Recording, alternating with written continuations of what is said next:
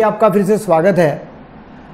आज मैं आपसे बात करने वाला हूँ ऑर्बिटो फ्रंटल ट्यूमर्स के बारे में। मतलब ब्रेन के, भेजे के जो ट्यूमर है, गठान जो आती है, और गठान से जो मानसिक प्रॉब्लम होती है उसके बारे में। मेरा नाम है डॉक्टर दीपक केड़कर है मैं मनोविकार, सेक्स रोग, सम्मोहन तथा व्यसन मुक्त तज्ञ महाराष्ट्र में अकोला में प्रैक्टिस करता हूँ। कभी सारे लोग हमारे पास में पेशेंट बन के आते हैं जिनको लक्षण मानसिक रहते हैं। उनको कुछ पागल माना जाता है, या ऐसे कोई लक्षण है कि जिसमें वो इनअप्रोप्रिएट है, और फिर उसको इसलिए हमारे पास में लाया जाता है। मैं अभी देखता हूँ, एक पचपन साल का आदमी मेरे पास में लाया। बोले कि वो उसका मतलब उसके लक्षण जो उन्होंने बताया रिलेटिव्स ने, कि भाई वो आजकल बहुत चिड़चिड़ा हुआ है। मतलब आजकल कब से? बोले, पाँच छः महीने हो गए, चिड़चिड़ापन है। फिर उसकी भावना अस्थिर है। बहुत ज़्यादा गुस्सा करेगा, कभी रो लेगा है ना? कभी एकदम चुपचाप गुमसुम बैठेगा मतलब ऐसी भावना अस्थिर है।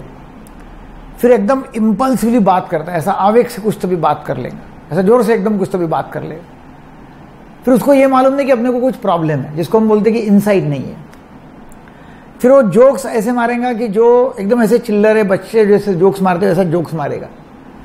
फिर समाज के अनुरूप उसका बर्ताव नहीं है। या फिर बच्चों के साथ में कोई लैंगिक हाथ लगाना या ऐसा कुछ तभी बर्ताव करना बच्चों के साथ में या फिर कभी ऐसी बहुत ही चिल्लर वस्तुओं की चोरी करना कि जो ऐसा लगता नहीं है कि भाई इसके लिए उसने चोरी करना चाहिए करके। तो ऐसे लक्षण उनमें दिखे कि छोटी छोटी वस्तु की चोरी कर लेना ऐसा कुछ तो भी पेन उठा लेगा कोई पेंसिल उठा लेगा है ना बच्चों के साथ में कोई लैंगिक ये करेगा या फिर उसको सेक्सुअली इनअप्रोप्रिएट बिहेव करेगा। मतलब कभी वो आ, अपना लिंग बता देगा किसको या कपड़ा कपड़ों का भान नहीं रहेगा कभी कभी या फिर कहीं भी पेशाब को बैठ जाएगा सबके सामने।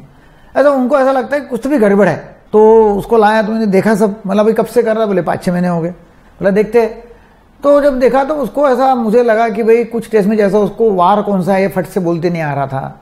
अभी समय कौन सा है वो बोलते नहीं आ रहा था उसको कि समय कौन सा है। फिर मैंने उसको पूछा कि इनके नाम क्या है रिलेटिव्स के? तो बोल सकता था नाम, मगर थोड़ा टाइम लेता था रिएक्शन टाइम ज़्यादा था उसका। फिर बोले थोड़ा थोड़ा उसको कभी कभी ऐसा लगता है कि उसको याद नहीं है।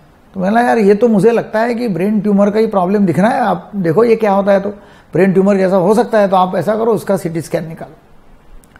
तो बोले, नहीं नहीं, ज़रूरत नहीं है। अभी इतना पैसा कहाँ से लाएँगे? मतलब भाई, ऐसा मत करो, आप अभी पाँच छः महीने से आप तो दवाई ले रहे, गाँव में इधर उधर अभी आप सिटी स्कैन निकालो तो मालूम पड़ेगा क्या है तो। सिटी स्कैन के लिए उनको भेजा और सिटी स्कैन का रिपोर्ट आया। ऑर्बिटो फ्रंटल एरिया जो है, कॉर्टेक्स का, वहाँ ट्यूमर। मतलब आँख के पीछे वाली जो बाजू है फ्रंटल साइड सामने वाली जगह जो है ब्रेन की, वहाँ ट्यूमर उसको दिखा। और वो ट्यूमर धीरे धीरे धीरे धीरे बढ़ता था बढ़ रहा था। इसलिए वो पाँच छः महीने से उसको ऐसे लक्षण दिखे। फिर मैंने बोला कि भाई, आप जरा सोचो, उसको कभी ऐसा बेहोश गिर गया था क्या? बोले हाँ एक बार वो थोड़ा सा बेहोश हो गया था दो चार मिनट के लिए। फिर वो एक एक एक एक जैसे लक्षण पूछने गए, पूछते गए मैं तो फिर और लक्षण बताते गए वो। फिर बोला, भाई, इसको तो ऑपरेट करना पड़ेगा। ये ऑपरेशन के लायक केस है।